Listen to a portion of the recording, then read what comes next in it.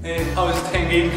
This is Dave, and today we're gonna go over some basic CrossFit exercises. Hey dude, okay. check my posture? Dude, what the fuck?